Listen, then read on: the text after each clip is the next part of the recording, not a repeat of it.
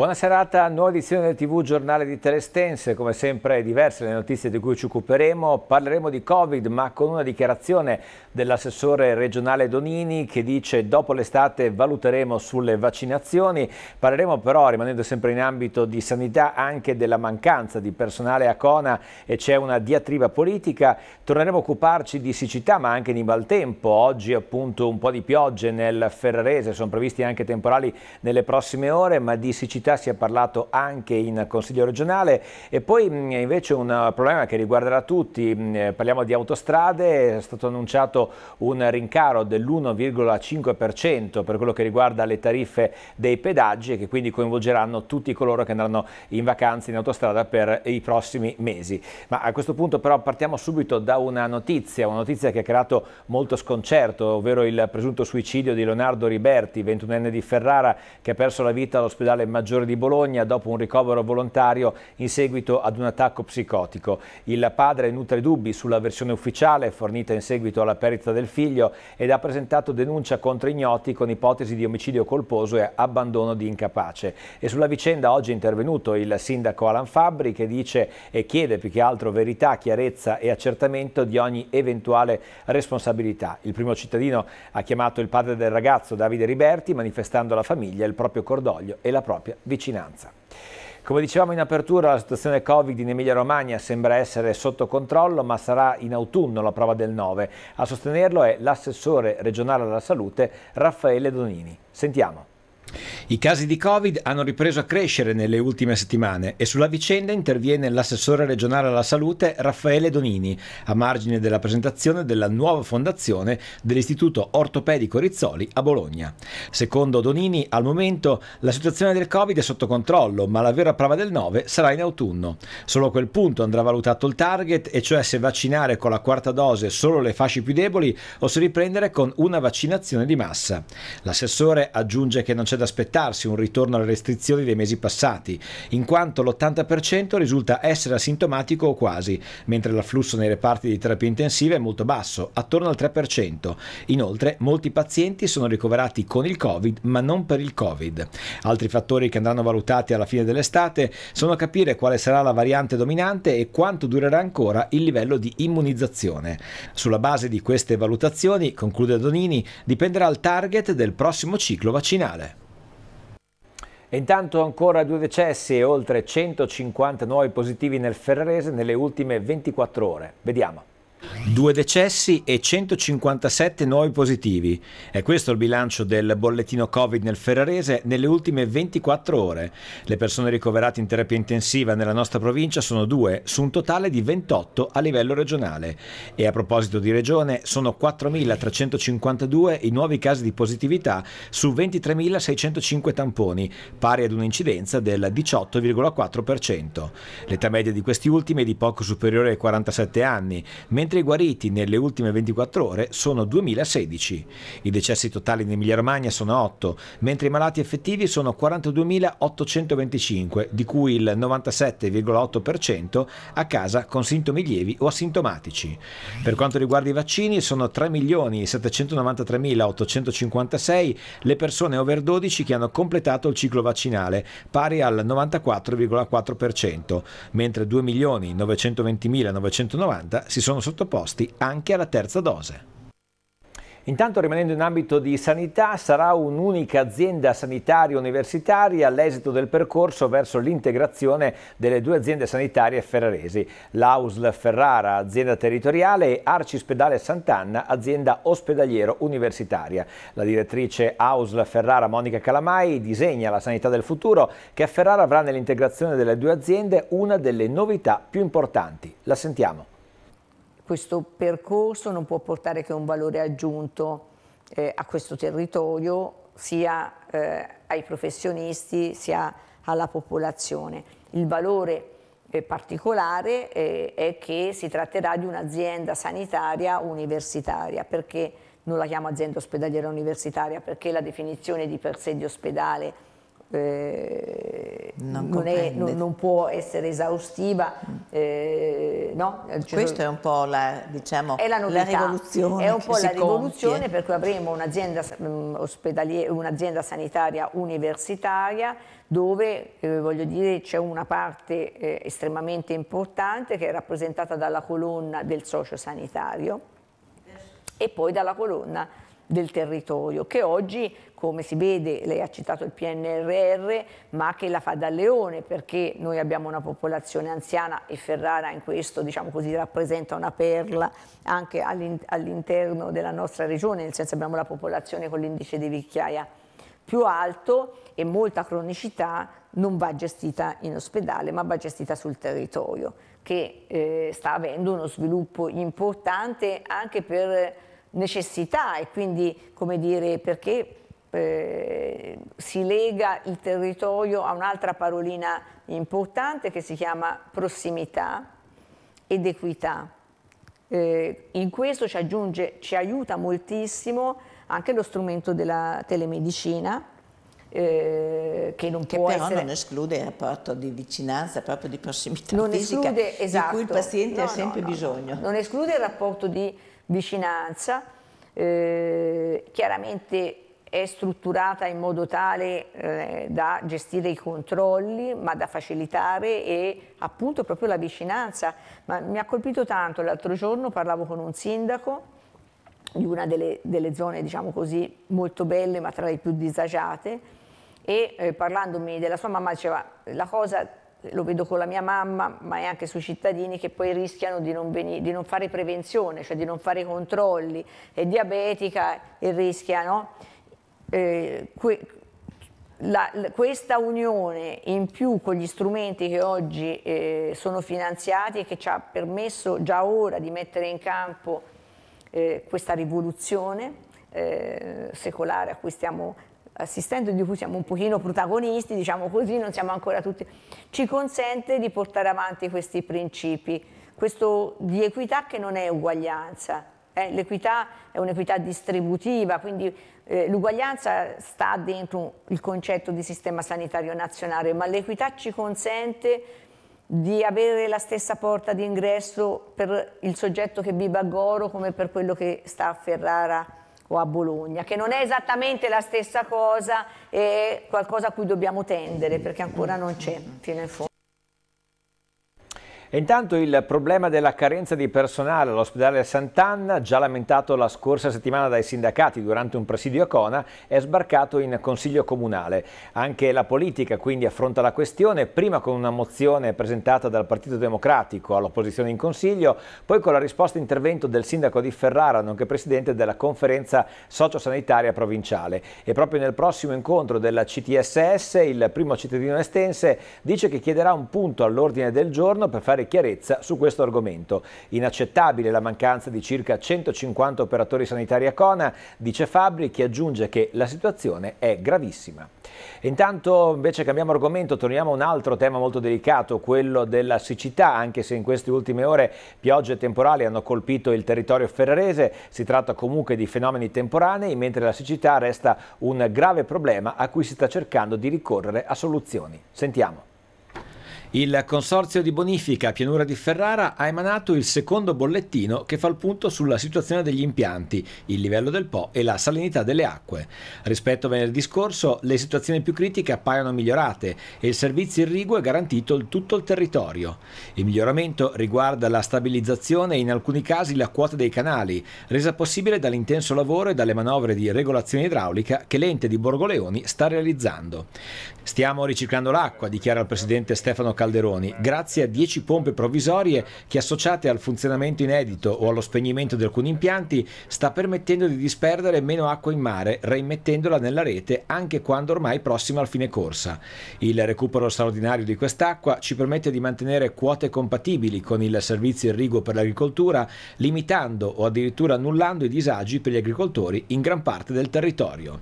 Questa condizione però è frutto di un difficile equilibrio e si tratta di una situazione limite che difficilmente difficilmente potrà essere mantenuta se i livelli del Po caleranno ancora e se non vi sarà la collaborazione di tutti gli utenti.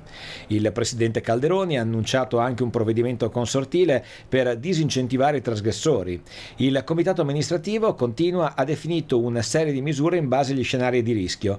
Chiediamo a tutti responsabilità e parsimonia nell'utilizzo della risorsa idrica, ai cittadini, alle imprese, agli agricoltori. Purtroppo temiamo che il peggio non sia ancora passato e che probabilmente qualche disagio, speriamo breve e territorialmente limitato, potrà verificarsi, ma possiamo garantire che il Consorzio metterà in campo ogni risorsa e sforzo utile a superare la crisi idrica peggiore degli ultimi 70 anni e dare risposta ai bisogni dell'agricoltura, settore fondamentale e ricchezza insostituibile per questa provincia. Intanto le condizioni meteo in queste ore hanno portato a piogge temporali nel Ferrarese, fenomeni che potrebbero proseguire a macchie di leopardo fino al pomeriggio di mercoledì, quando tornerà pressoché ovunque il bel tempo con temperature in crescita nel fine settimana. E quindi insomma il problema siccità rimane, se ne è parlato anche oggi in Consiglio regionale, sentiamo allora le dichiarazioni di Marco Fabbri, consigliere del PD, Matteo Rancan, consigliere della Lega e dell'assessore all'ambiente Irene Priolo. Con questa risoluzione abbiamo chiesto un impegno sia in termini di investimenti, inteso come quegli interventi, quelle opere che sono in un qualche modo già state preventivate, avviate, ma che necessitano di essere sburocratizzate in un qualche modo, sia in relazione ai 200 miliardi di euro sul PNRR, ma anche affinché il tema dell'acqua diventi un tema centrale a livello nazionale. Eh, non soltanto questo, ma anche di valutare la realizzazione di nuovi invasi, ma soprattutto interventi puntuali sulla razionalizzazione dell'acqua perché sappiamo che le perdite sono molto cospicue. Infine il tema delle buone prassi a partire dalla quotidianità di tutti noi perché in primis noi cittadini dobbiamo, eh, partendo dalle scuole, dai ragazzi, dai più giovani, però dobbiamo utilizzare dei buoni esempi che non possono essere solo degli slogan, degli spot, ma si devono tradurre in fatti concreti della nostra quotidianità. Oggi serve uscire dall'ideologia. Abbiamo presentato una risoluzione, un ordine del giorno per chiedere cose chiare per i nostri agricoltori, per i nostri cittadini e per i nostri, eh, anche tutti quelli che sono i produttori per la trasformazione per esempio del pomodoro. Servono dighe e invasi e un ricalcolo del flusso minimo vitale. Soprattutto sulle dighe e gli invasi servono potenzialità per raccogliere acqua quando diciamocelo cade dal cielo. Questo è quello che serve, raccogliere per non rimanere più senza in queste situazioni di emergenza per la siccità ma intanto noi stiamo finendo tutto il percorso per chiedere domani con la sottoscrizione del Presidente la dichiarazione di emergenza nazionale, quella regionale è già stata emessa, per cui abbiamo messo insieme tutti quelli che sono gli elementi necessari per affrontare lo stato di emergenza, tra cui la possibilità diciamo, di fare interventi urgenti per l'approvvigionamento idropotabile, tra questi c'è l'installazione di pompe idrovere, c'è la possibilità di fare dei pozzi in alveo e c'è anche la disponibilità di mettere delle autobotti per l'approvvigionamento per i cittadini, questo soprattutto nell'Appennino eh, parmense. Dopodiché stiamo chiedendo anche la possibilità di fare interventi, si chiamano del rischio residuo, quindi interventi più strutturali che però ci possono evitare crisi come quella che stiamo avendo perché il nostro malato speciale in questo momento è il Po e noi abbiamo il problema dell'approvvigionamento con il canale Emiliano-Romagnolo per cui stiamo chiedendo anche 20 milioni di euro di investimento complessivamente una dichiarazione di emergenza da 32 milioni di euro. Ovviamente su questo tema torneremo anche nei prossimi giorni, ma adesso invece passiamo alla cronaca. Lei prometteva rapporti intimi a cifre irrisorie ai passanti che uscivano dalla stazione dei treni, lui poi interveniva rapinando il malcapitato che nel frattempo si era appartato con la donna. Arrestata la coppia accusata dai carabinieri di aver messo a segno diverse rapine l'anno scorso tra maggio e agosto. Lui 32enne noto agli uffici di polizia, lei 39enne, entrambi di origine nigeriana e in Italia senza fissa dimora, secondo i militari erano assidui assidui frequentatori del GAD. Le vittime, tutti uomini di diverse nazionalità e di età compresa dai 50 agli 80 anni, risultano tutti residenti nella provincia. In un paio di casi due uomini hanno subito lievi lesioni, in un caso la donna avrebbe morso l'accompagnatore, mentre in un altro gli avrebbe spruzzato dello spray urticante in viso. Ora i due presunti rapinatori si trovano in carcere. Adesso invece parliamo di un altro problema, chiamiamolo così perché aumenta il costo dei pedaggi autostradali da fine mese, il perché lo sentiamo in questo servizio. Autostrade per l'Italia ha comunicato che da fine giugno potrebbe scattare un aumento dei pedaggi dell'1,5%. Un ritocco, spiegano in una nota, che avviene dopo quattro anni di blocco e che non sarebbe legato al caro energie e materiali. La società spiega che è un incremento risibile legato all'approvazione del piano economico finanziario, sebbene i prezzi di energia e materie prime ricadono sui diversi cantieri che Autostrade per l'Italia ha in giro per il paese. I maggiori costi andranno conseguentemente probabilmente ricadere in un periodo, qual è quello delle vacanze estive, dove molti italiani si metteranno in viaggio e dovranno vedersela anche con il prezzo dei carburanti sempre più alle stelle. I consumatori di Asso Utenti hanno annunciato un ricorso al TAR del Lazio. E adesso invece parliamo di un altro tema assolutamente delicato perché c'è Paola Castagnotto, presidente del Centro Donna Giustizia, che interviene sulla decisione della Corte Suprema Americana in merito all'interruzione volontaria di gravidanza. Tra pochi giorni compio 68 anni, scrive in una lettera inviata alle redazioni e non avrei mai creduto di vedere un ritorno di imbarbarimento dei diritti civili come quello segnato dalla decisione della Corte Suprema Americana. Imbarbarimento e crudeltà perché significa ignorare quante donne metteranno la loro vita vita a rischio per affermare un principio ideologico alla vita che poco c'entra con la vita reale delle persone.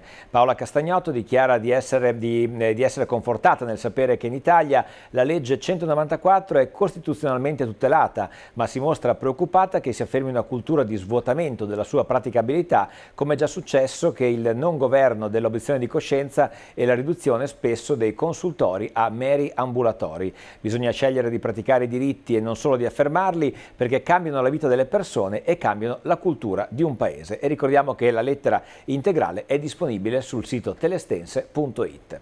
Adesso invece cambiamo argomento, riqualificare gli alberghi dell'Emilia Romagna per rendere più attrattivo il territorio. È l'intenzione della Regione che ha stanziato fondi. Sentiamo. Alberghi moderni, confortevoli, funzionali ma soprattutto sostenibili, in grado di concorrere alla lotta al cambiamento climatico utilizzando la tecnologia per ridurre il consumo energetico e attivare processi di economia circolare. Ammontano a 300 milioni di euro a disposizione delle imprese, 150 milioni dalle banche, 150 in mutui BEI, Banche Europee degli Investimenti, per le piccole e medie imprese e per quelle fino a 3.000 dipendenti che potranno accedere ai finanziamenti con ammortamento fino a 15 anni anni per importi da 400.000 a 5 milioni di euro. E la Giunta regionale, proprio per sostenere gli albergatori, riporta un comunicato, ha deciso di associare tramite bando contributi in conto interesse investendo 4 milioni di euro nel triennio 2022-2024 fondi che serviranno ad aiutare le imprese a realizzare i propri progetti con contributi fino al 90% per un tetto massimo di 200.000 euro di investimento, riservato a quelli che puntano a centrare gli obiettivi della transizione ecologica. Il provvedimento pronto a partire è stato illustrato a Bologna dall'assessore regionale al turismo e commercio Andrea Corsini nel corso di una conferenza stampa cui hanno partecipato i presidenti di Federalberghi Alessandro Giorgetti e Assotel Fabrizio Albertini. Un'operazione di carattere finanziario, di carattere industriale che mettiamo in campo in un momento in cui il turismo riparte con eh, grandi numeri e grandi speranze per sostenere un ulteriore processo di riqualificazione in chiave ambientale delle strutture ricettive perché daremo una premialità importante a chi metterà in campo progetti di risparmio energetico e di economia circolare. Se le cose andranno bene abbiamo già un impegno da parte della BEI di poter eh, proseguire ulteriormente in questa linea di finanziamento i contributi vanno da un minimo di 400.000 a un massimo di 5 milioni e quindi vedremo diciamo così, le domande che eh, le strutture alberghiere faranno, però contiamo diciamo così, di avere un numero importante di imprese eh, ricettive che si uniscono poi a quelle che hanno già riqualificato con i precedenti fondi della Regione. Non sarà neanche l'unico strumento che metteremo in campo in questi tre anni perché con i fondi strutturali dell'Unione Europea faremo nuovi bandi a partire da ottobre. E adesso un appuntamento prende il via giovedì 30 giugno al Caffè Bacchelli l'iniziativa Jazz for Stroke, quattro serate di musica e divertimento per raccogliere fondi a favore dell'Associazione Alice. Sentiamo i dettagli della prima serata dal presidente Claudio Mari. Giovedì 30 giugno alle ore 21 facciamo un incontro presso il Caffè Bacchelli vicino alla piscina un incontro particolare. Noi come Associazione per la lotta all'ictus cerebrale eh, vogliamo sensibilizzare le persone all'ictus senza disturbarle più di tanto, ma facendo momenti importanti e interessanti. Uno di questi momenti è proprio giovedì eh, 30, in cui ci saranno ehm, tre musicisti ferraresi, anzi quattro, ehm, quali Massimo Mantovani al pianoforte, Stefano Peretto alla batteria, Bessi Boni alla voce e che vede in questa occasione la presenza di un sax meraviglioso quale Stefano Melloni. Faremo una musica molto, molto bella, molto semplice e, e di classe, una cosa ehm, così, staremo un po' insieme alle persone per, per eh, passare una serata eh, bene al fresco, ehm, al fresco di una location veramente fantastica perché chi conosce il posto sa che è molto bello e intanto eh, ascoltando un po' di musica daremo qualche locandina cercando di, di sensibilizzare all'ictus che ribadisco è la terza causa di morte e la prima causa di validità permanente. E siamo in chiusura, vi ricordo come sempre gli appuntamenti della serata, in particolare questa sera alle 22 torna il processo al Gran Premio, quindi appuntamento dedicato a Formula 1 ma anche al MotoGP e a tutto quello che riguarda il mondo dei motori dalle 22, quindi come sempre su Telestense. Vi segnalo anche telestense.it e i nostri canali social, ci trovate come sempre su Facebook, Twitter, YouTube e Instagram. Grazie dunque per averci seguito, a tutti l'augurio di una buona serata.